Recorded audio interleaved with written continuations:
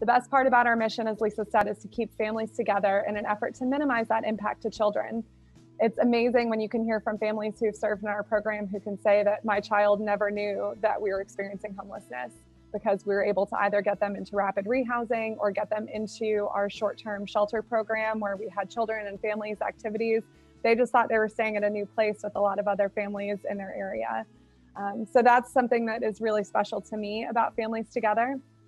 And I've talked a lot about direct service, but what I also wanted to talk about was the expansion of our work into affordable housing and advocacy. As Lisa mentioned, in the last few years, we really wanted to expand our mission into the actual problem of family homelessness and be able to make a dent in the um, affordable housing area in Raleigh, as well as try to impact and influence some of the legislation that's going through and the way that we can advocate for um, those families experiencing homelessness in our area. So we've realized how important affordable housing is in our community and how quickly it continues to diminish as Raleigh continues to grow.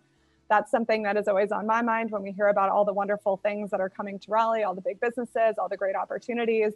It does increase housing costs. It makes apartments um, very unaffordable for a lot of our families. So that is something that uh, we have to keep in mind as Raleigh continues to grow.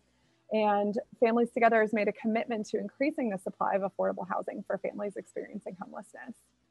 I'm excited to give you a behind the scenes glimpse of our recent duplex renovation project and the future plans for the undeveloped land where the cottage or where we're hoping that our cottage court can be located. So Jen, are you able to pull up the video of the 1109 Plainview Drive duplex renovation? Great. Are you all seeing my screen now? Mm-hmm. Okay. Yes. Getting ready to show it. Here we go. In 2020, under our newly launched Affordable Housing Initiative, Families Together bought a house from a local church and began extensive renovations. The property would be used to create new rental housing that would be affordable for two families transitioning from homelessness.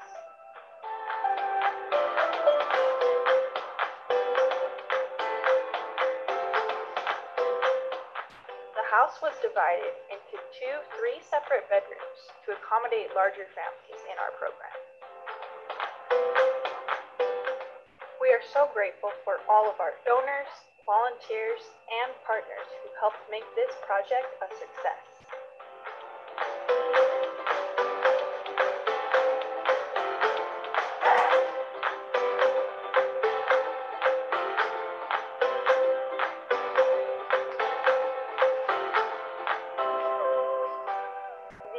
Extensive grounds will be used to build eight to nine cottage homes, so families together can accommodate even more families in the future. To learn more, visit our website at familiestogethernc.org slash hope begins anew. Thank you, Jen.